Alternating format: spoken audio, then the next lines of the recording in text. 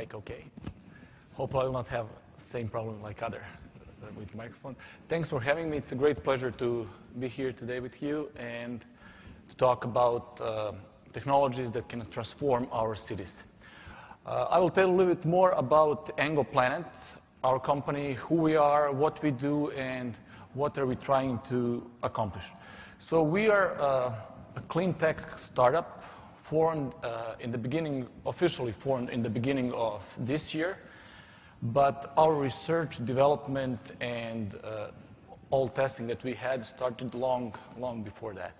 Uh, the main event that motivated us to start this work and this journey was uh, Hurricane Sandy.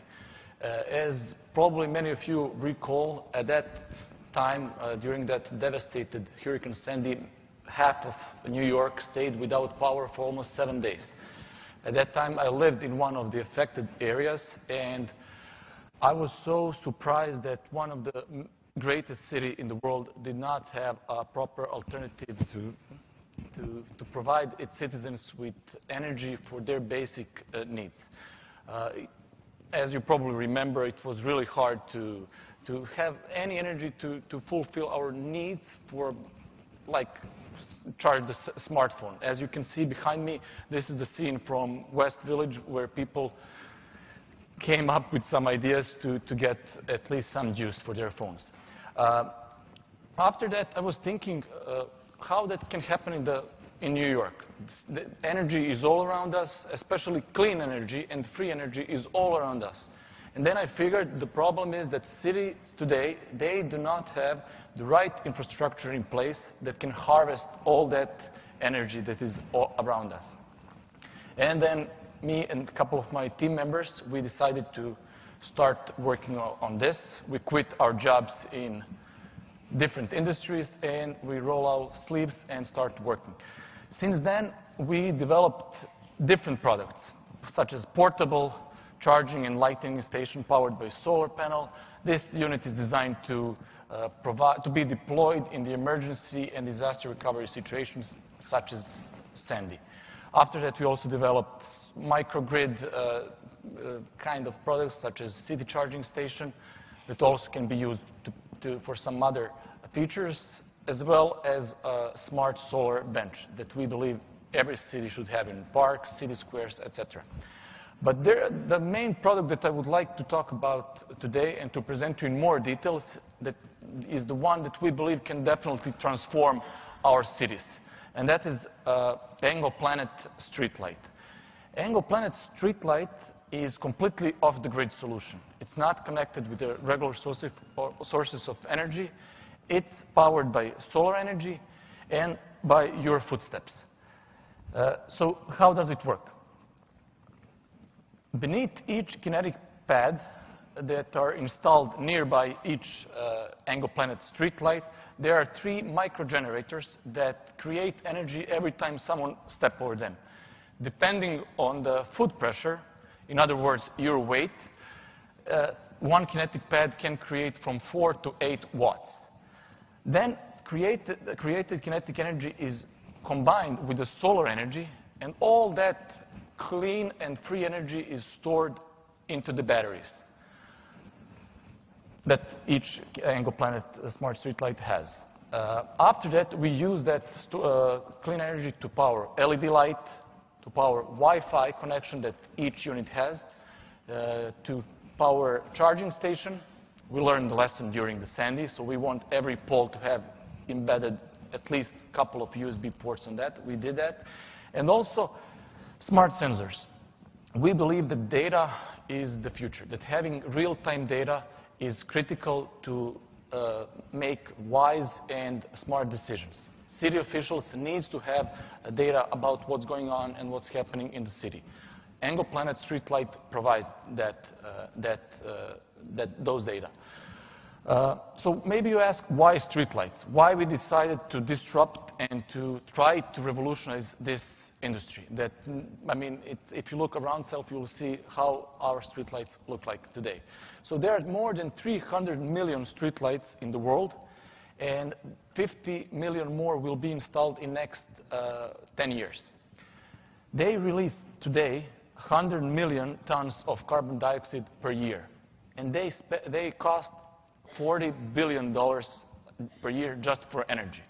I mean, we are not including maintenance and all other associated costs with that. So it's a big, big uh, money.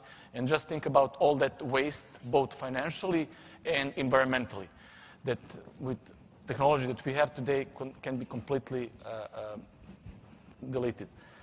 Uh, in addition, this is the Wall Street light map behind me. If you see all those dark places, uh, mainly in Africa and South America, people live there. People live there and they do not have the access to power grid and to street lights. Uh, approximately 1.4 uh, billion people today live without power, without lights, in the dark.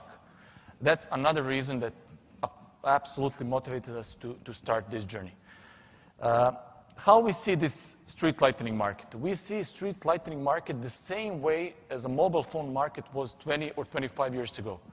Uh, in the beginning, mobile phone uh, gave just one function, and that's phone calling, and that's it. It was revolutionary at that time uh, to have mobile phone that is wireless, that can, you can bring with, you, with yourself everywhere. But today, as you know, mobile phone is a multifunctional device that can provide so many features, and I don't want to remind you what you can do with your cell phone. You already know. With the same way we see the street lighting market. This is a street light that is almost everywhere in New York. Not, I'm not talking about some other countries. This is here in New York, today in 2016. And we think it's uh, about time to start changing this to smart and uh, useful street lighting. If you see this street light from the bottom up, it's completely useless. Not, I'm not just talking about the light. If you look at the entire uh, structure, it's useless. It's just use the, all that metal and all that construction is used just to provide lighting. Uh, not just to mention that that lighting is completely inefficient, harmful for the environment, and very, very expensive. One of these lights costs city more than $250 per year count all the streetlights that you have right now, and you will see how much money is wasted that can be used in some different causes.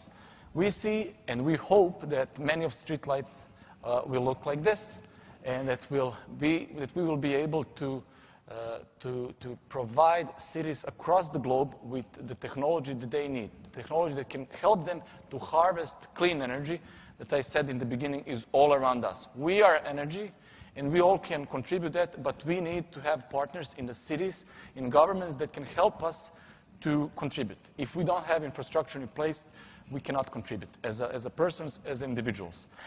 Uh, I would like in the end to share several pictures from our very first installation that we just finalized in Las Vegas. This is the picture from downtown Las Vegas. I came two weeks ago from there.